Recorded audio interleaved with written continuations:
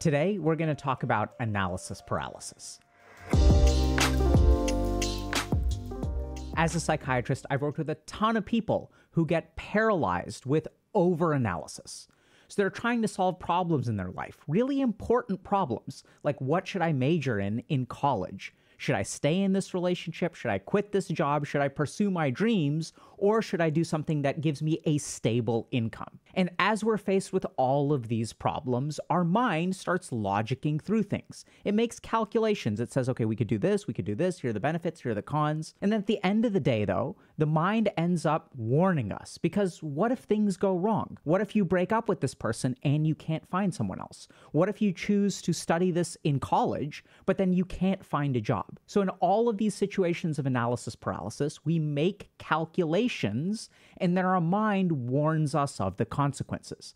And no matter how many times we think through things, we can't seem to find an answer that prompts us to action. And the reason for that is because our brain is making intentional miscalculations about the future that end up paralyzing us. And this is the science of loss aversion. Hey, y'all, if you're interested in applying some of the principles that we share to actually create change in your life, check out Dr. K's Guide to Mental Health. It combines over two decades of my experience of both being a monk and a psychiatrist and distills all of the most important things I've learned into a choose your own adventure format. So check out the link in the bio and start your journey today. So, this is super cool because this research comes out of the field of neuroeconomics. This is part of the reason why no one really understands this because this is an emerging field. See, we used to have psychology, which started with people like Sigmund Freud and Jung and stuff like that.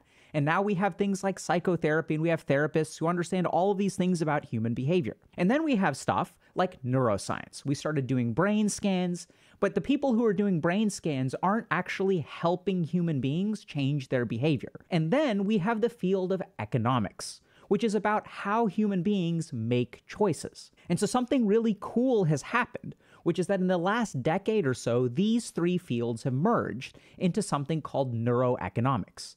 And the revelations from neuroeconomics are fascinating. And one of the most important things that we've discovered, which a lot of therapists don't understand, we're not trained in this stuff, is about loss aversion. So, if we want to understand how to overcome analysis paralysis, it turns out that neuroeconomics gives us a really good insight into how our brain makes decisions and how there are certain parts of the brain that will keep you paralyzed because they are afraid of the consequences. The crazy thing is that these parts of the brain actually make incorrect calculations, which is part of the reason why we, when you do something that's really difficult, right?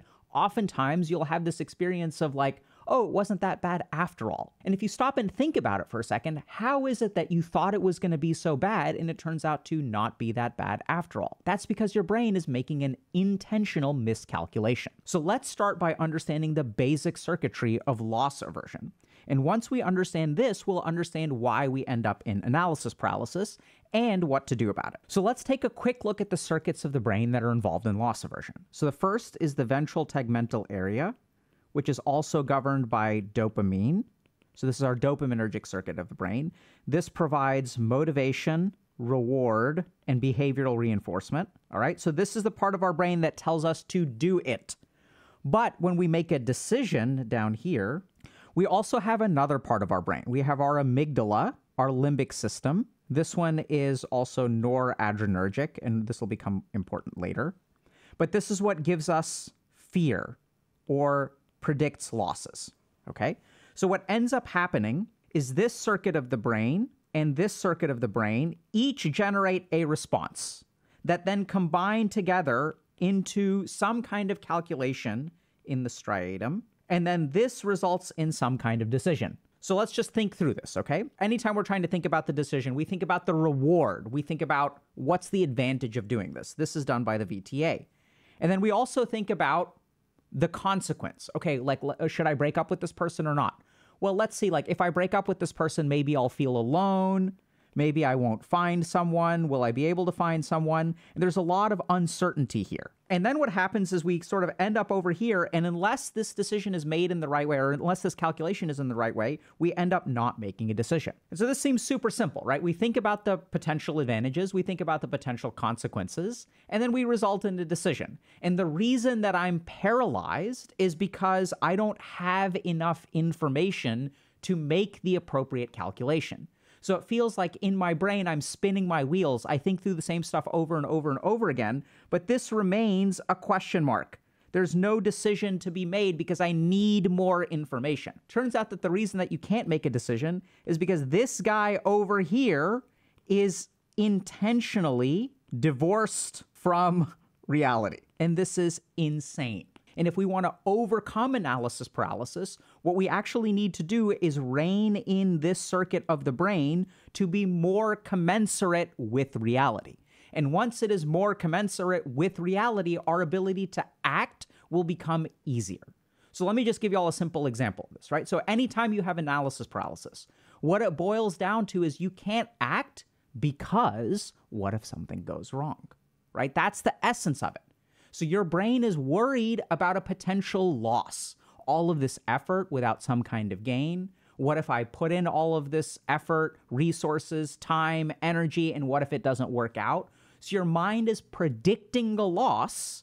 And if you sort of think about it, that's why you can't act, right? Because there could be a potential loss. There could be something that goes wrong, and then all my effort is wasted.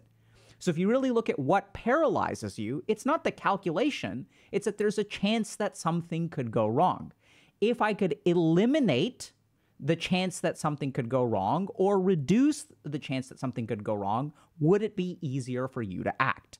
And if the answer to that question is yes, we're going to show you exactly how to do that. So, this is where we get to a couple of experiments about neuroeconomics. And this is what's really weird. Okay. So, a lot of this stuff isn't going to make logical sense because it's not logical, because our brain works in an illogical way. So, the first principle that we understand is that if I have $5 and I have an object that is worth $5, these are not worth the same in my mind. Literally, what my brain does is anytime I'm thinking about purchasing something, okay, so I have the $5 in my hand, I want to buy a $5 object. What my brain does is thinks about all of the possibilities of the $5 right? I could do this with $5. I could buy that. I could get a coffee. I could get a digital cosmetic. I could order a book on sale. I could do all of these things with $5. Oh my God, imagine all the stuff I could do with $5. And then what happens is we think about the object itself. And what, what does the object do? It can only do one thing. So then my brain decides, okay, even though these th- two things are technically worth the same, my brain values the $5 more. Now that may make perfect sense, but now this is when things get weird. So let's say I have an object with $5, worth $5, sorry, and I'm thinking about selling the object. So then what happens is my brain does the opposite. It actually thinks to myself, oh my God, I have this $5 coffee mug. This is the best coffee mug. I enjoy this coffee mug every single day. It's really crazy, but like, man, I love this coffee mug so much. And if I sold it, I wouldn't be able to, you know, use this coffee mug anymore. And so now what we sort of think about is the value of the object and then we end up thinking a little bit about the value of $5. So I know it sounds kind of weird, but like there's very little value in the $5 if we already own the object. So this is what's kind of weird, but the science of loss aversion teaches us that that which you already own is worth more to you than a possibility of something else. Now, this may sound kind of weird, but I want y'all to just think about this for a second, okay? So, anytime you're thinking about, let's say, should I major in this particular thing in college? Should I study this in college? So if you sort of think about it in that moment, what you own is a lot of free time, right? So this is your time. You haven't committed to a, a, major. What you own in this moment is the possibility of choosing the right thing. There are a lot of sort of things that you own already. I know it sounds kind of weird, but this is how it works. And then the moment that you commit to something, it's either it works out or it doesn't work out. But right now, before you make a choice, you have all of these possibilities available. This is like having the $5. And then the other thing that's really weird about this is that the duration of ownership matters. So the longer that you hold the $5 or the longer that you own the object, the more it is worth to you. And this explains why this is really confusing, but a lot of people I work with will, let's say, waste their life playing video games. So they say, I've been playing video games for 10 years. And oh my God, people think that logically, if you've been wasting your life for 10 years, then that you should be more motivated to do something with it, right? So if it's like, okay, I wasted a day, like not that big of a deal, but once I waste a month, I'll be more motivated. If I waste a year, I'll be more motivated because I have all this catching up to do. But the science of loss aversion teaches us that the longer that you hold in a particular pattern, the longer that you engage in this dopaminergic activity, the more it matters to you, the more that it be- you become attached to it, and the harder it is to give up. So we literally value things that we've been doing and things that we own for a longer period of time. So the value of that which you own is worth more to you than a potential possibility. And this explains some of our analysis paralysis. Because if I'm in a relationship, let's say, and the relationship isn't very good, let's say it's only a two out of 10, and I look at the rest of the world and I think to myself, okay, there's a lot of people out there that I could have a five out of 10 relationship with. The problem is that once you already own this relationship, your brain amplifies this by two to three times. Literally, we sort of know what the number is. And this also changes with the duration of the ownership. So the longer that you've been in a relationship, the more that your brain values it, even if objectively it is not worth very much. Okay? So now we begin to see one calculation, and this will fit in more, but that the duration of ownership and what you own actually increases the value of something in your mind, even if it is it objectively worth less. We'll talk about how to uh, deal with that information or how to use it more applicably. But this is the first bias that we need to understand. The second thing that we need to understand is a temporal bias. Now, this is going to sound kind of confusing, like a lot of stuff in this video, because a lot of stuff is not logical because it's actually divorced from reality. So let's understand the, the temporal bias. Okay. So remember, we have the ventral tegmental area, which gives us dopamine, which gives us our experience of a reward. And then we have our amygdala, which gives us our fear, which gives us our projection of loss. So here I am trying to make a decision about the future. So I don't know if this makes sense, but when we make a decision about the future, when we're worrying about the future, the pain of a future loss can be experienced today. But the dopamine reward from a future accomplishment cannot be experienced today. This is screwed up. So anytime you sort of look at something that you're doing, right? Let's say I'm picking a, a major in college. So the exhilaration of graduating four years from now with a degree doesn't give me any dopamine. It's just a possibility. It doesn't activate this part of my brain. Thinking about the future, thinking about how much fun a game is going to be, does not release a surge of dopamine. The thing that is screwed up about our brain is that a future loss can be experienced today. So, literally, if you are stuck in analysis paralysis and you're thinking about the benefits and you're thinking about the losses, the pain of the loss can be experienced in the present moment, even if you haven't lost anything. And it is that pain of loss, right, that you experience over here. This, you get this signal, we get this one, right? So, this one actually comes in to our brain is like, ouch, this hurts but we don't get any of the prospective pleasure. This remains empty. And what this results in is it keeps us stuck. And if only things were that easy. It turns out that things are actually even worse than this. So it isn't just that you can experience a future loss in the present, which will paralyze you from acting because it hurts so much. It's that the amount of loss that you experience is two times what it actually is. Okay? So, this is literally what we know. So, when our brain makes a calculation about the future, it cuts the reward in 50% or one half, and it actually doubles the size of the loss. So, let's take a quick look at a paper that sort of illustrates how screwed up this is. So, while potential loss had a significantly greater effect on choice than potential gain in both adolescents and adults, this is looking at sp- specifically adolescents. But the key thing here to understand is that we value losses more than we value gains by a factor of about two. So I know that sounds kind of bizarre, but what that literally means is anytime you are faced with some kind of analysis paralysis, your brain is actually doubling the cost of what you're trying to do and cutting in half the benefit of what you're trying to do. And if you've kind of gone through life, you've sort of noticed this, right? You've noticed that, okay, you're really worried about something going wrong, and your brain is like, this could go wrong, and this could go wrong, and everything could fall apart. And then you end up doing it, and you're like, you know what? It wasn't that bad after all. I see this a lot, even in children who are getting vaccines or getting injections, where it's like, okay, the kid is terrified of the shot. Oh my God, the shot is going to hurt so much. But you get the shot, it lasts like less than five seconds, and then you kind of feel fine and everything is okay. And so it turns out that because of evolutionary reasons, our brain has learned how to amplify perspective losses in order to protect us from making mistakes. But the world that we live in now has changed drastically from when we were like primates living in the wilderness and we were like trying to figure out whether we should try to hunt down this deer when we also see tiger tracks. So, this is the problem. The world that we live in today has a lot of uncertainty. And in all of this uncertainty, there are a lot of possible losses that you could experience. The challenge is that in your brain, all of those possible losses literally activate your loss experience in the brain. They activate your fear response center, they activate your amygdala, and those things decrease your motivation they make it hard for you to act. So, not only is this temporal component where we can experience the losses of the future in the present, and we can't experience the gains, but also there is an amplification of this signal.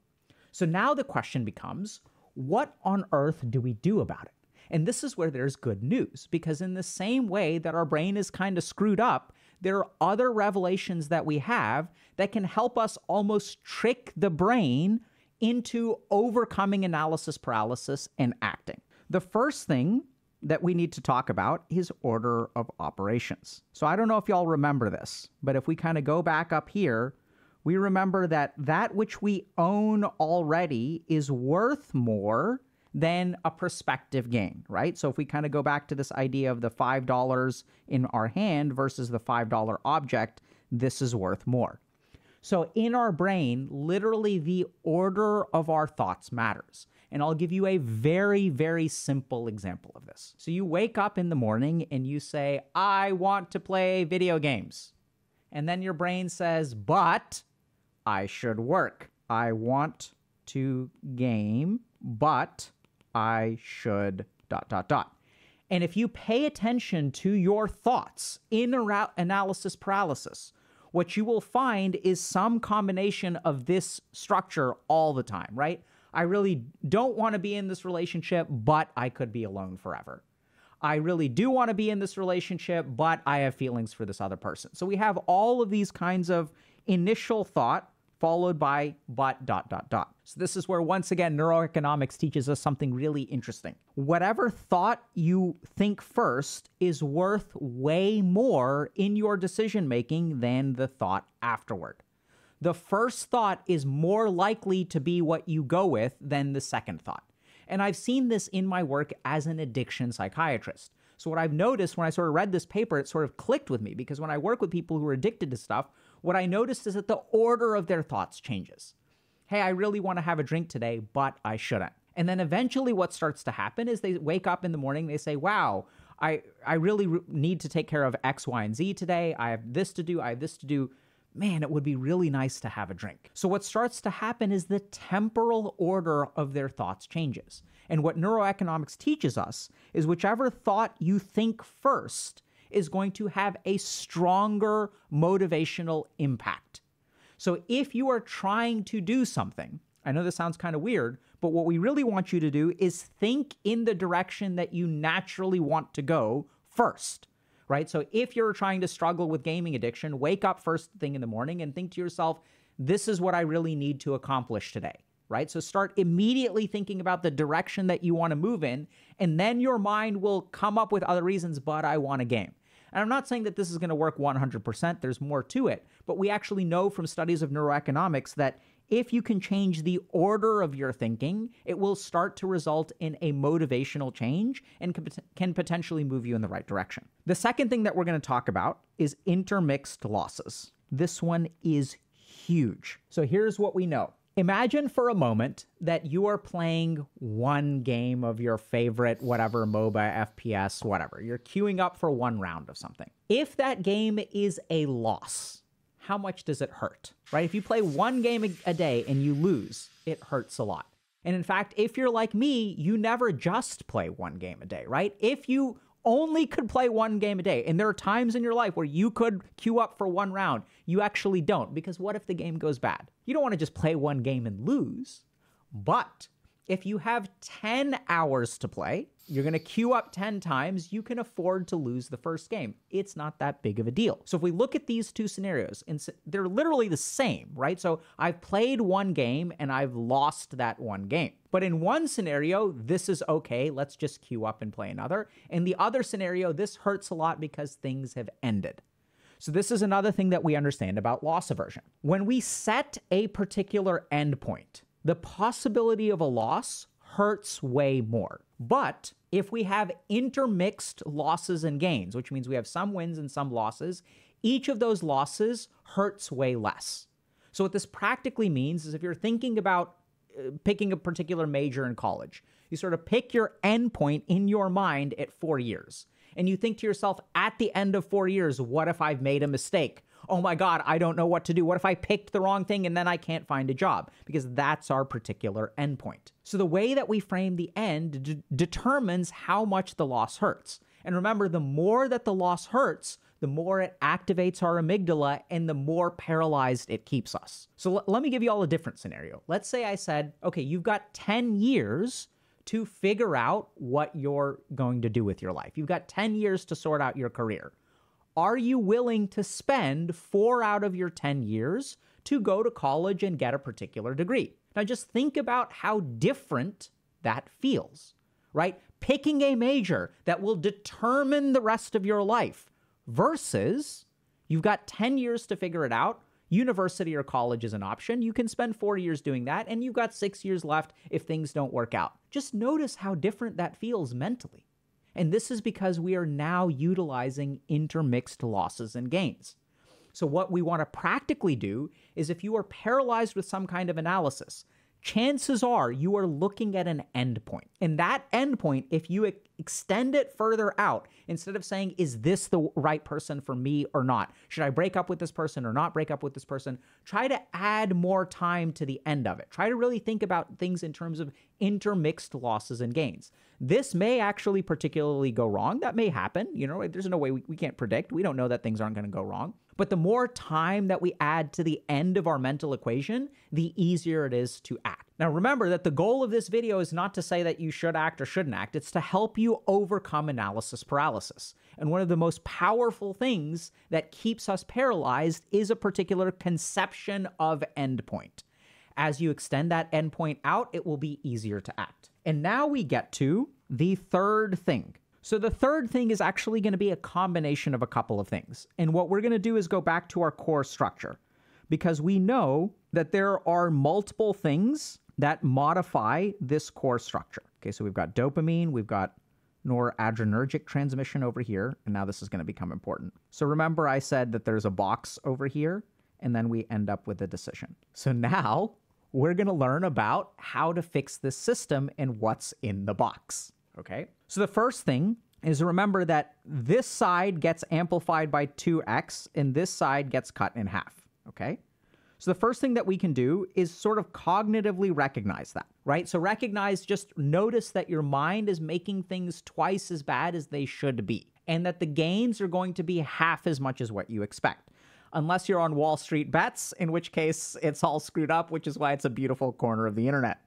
Okay? So now let's understand a couple of things. The more that you can engage in emotional regulation, the easier this equation will be.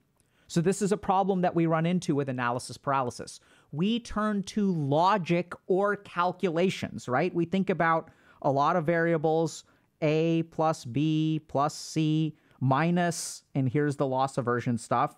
But this could go wrong, this could go wrong, this could go wrong, and then we don't know what to do. So the cool thing is that we tend to think that if we logically think through this equation over and over and over again, like we're some math professor, right, who's working on some famous equation, that eventually we'll figure it out. That's not what we need to do. If we literally engage in emotional regulation techniques, we will diminish the size of these variables and it will be easier to act. We've talked a lot in our channel about different ways to regulate emotions and alexithymia and all this kind of stuff. But literally, if you have analysis paralysis, you don't need more information. You don't need to spend more time calculating. You need to calm down your amygdala so at least you can go from a 2x to a 1x estimation, which is literally what we know from the science of neuroeconomics and loss aversion. If you can employ emotional regulation strategies, it will be easier to make a decision because your amygdala will not be controlling you. Okay? And remember also that this is a rigged game because you don't get any benefit of dopamine from a hypothetical, but you do suffer from a potential loss, a hypothetical loss in the present, which is completely screwed up. Okay? The next thing that we can do is reduce our noradrenergic transmission. So let's take a quick look at a paper that sort of illustrates this. Loss aversion might rely on a similar amygdala striatal noradrenergic circuit in, hu- uh, in humans.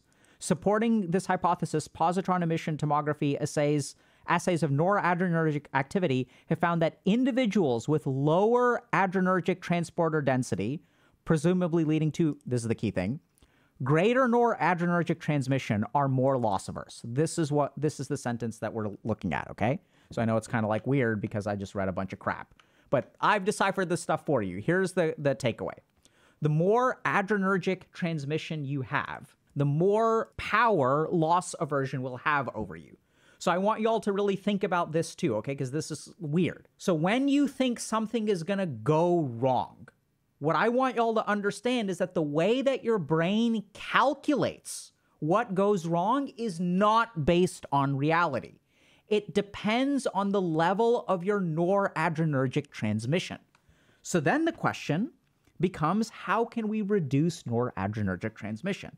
And this is huge. So, stress, fatigue, inability to sleep, all of these things increase your noradrenergic transmission, right? So, what we literally know is that when you are stressed out in some way, your cortisol levels increase, your adrenaline levels increase, and then related to adrenaline is also noradrenaline. So like we have epinephrine, we have norepinephrine. So all of this these kinds of stress hormones will literally amplify the pain of a potential loss.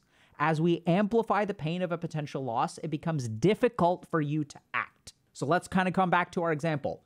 Should I major in this thing? And if you look at people in college, you'll notice that some of them, you're like, how the hell do these people do this? They just pick a major and they seem to be excited in life. But I am not able to be excited. I am so worried. And you look at those people and they're happy go lucky. They're chilling, they're vibing, they're able to enjoy things. And that's because their adrenergic, their noradrenergic level is low. They are less stressed out. And we seem to think that, okay, they have figured everything out which is why they are so carefree. We think that once I figure everything out, then I will be carefree. The beauty of what neuroeconomics teaches us is it's literally the other way around. You be carefree first, and then it will be very easy to make decisions. And you may say to yourself, but Dr. K, that's not going to work because I can't be carefree until I make this decision. And this is exactly the intervention that we need to talk about. That is factually incorrect. What we know from yogic principles of detachment and vairagya and all of these other things is that you literally, if you decrease your stress level by yoga or meditation or even sleeping a full night or reducing your caffeine intake or reducing your substance use intake, is that your stress level will objectively go down. Anything that you can do to decrease your noradrenergic transmission will make you more carefree. The more carefree you are, the easier it is to make a decision. And then we come to the last thing, which is where we are the most screwed, especially in this community. So the last variable to consider is interoception. So the more interoceptive you are, the more loss aversion will hurt. So, what does interoception mean? So, generally speaking, if we look at human beings, they pay attention to two different things. Some people pay attention to the outside world, and some people pay attention to the inside world. So if you know people who pay attention to the outside world, they can be a little bit more materialistic, right? There's they're not so aware of what's going on in here. They're not focused on how the bag that they purchase, let's say I purchase some designer bag, and then that bag makes me happy. So some people are like, wow, this bag is really great. And then there are people like me and probably like you because you're here, you pay attention to in here. wow, look at this happiness that I feel from this bag. Our focus is not in the outside world, our focus is in our internal environment. And the more interoceptive you are, the more vulnerable you are to loss aversion, and the amygdala kind of gets hyperactivated. So, people in our community, especially, pay a lot of attention to themselves, right? They're thinking a lot internally, they're feeling a lot internally, they're paying attention to their internal signals. It makes you awesome. It's a big advantage in spiritual growth because the more interoceptive you are, the easier it is, or the more tuned you are to your internal environment. The problem is that, generally speaking, if we kind of think about it, right? Spiritual growth and worldly success tend to be viewed in some ways as opposite ends of the spectrum. And so, as our interoception increases, as we pay attention to more internal signals, and these can be our thoughts, they can be the logical ways that we calculate through things, they can be our internal emotional environment, the more vulnerable we are to all of this loss aversion circuitry. So, the solution there is to externalize your attention. And the very practical way to think about this is to simply just do things that move your attention outside of your head. So if you're struggling with analysis paralysis, where is the focus of your attention? Logic, calculation, fear. Instead, what you need to do is have conversations, collect data. And data is not reading random crap on the internet, right? Go and talk to people, explore things. Take a look at actual data if you can, right? So the more that you can externalize your attention, you can even do things like talk with other human beings about other things. You can go for a walk, you can play with a dog, you can go to a yoga studio, you can go out for a cup of coffee, whatever it is. You can smell the, smell the roses, right? Like whatever you want to do. The more that you externalize your attention, literally what happens is this amygdala loss aversion circuitry in your brain starts to become less powerful. As that loss aversion circuitry becomes less powerful, it becomes easier to act. So let's summarize. So, a lot of people today struggle with analysis paralysis. We have all kinds of problems around gender dynamics and dating and professional careers and inflation. We have all of these problems. The world is filled with uncertainty. So, when our brain is filled with this, and anytime we think about acting, we think about the pros and we think about the cons. The problem is that anytime we think about the cons, it activates our negative emotional circuitry as we activate our leg- negative emotional circuitry, we feel the pain of a hypothetical loss in the present. And that pain of the hypothetical loss, because it cannot be balanced by the pleasure of a hypothetical gain, right?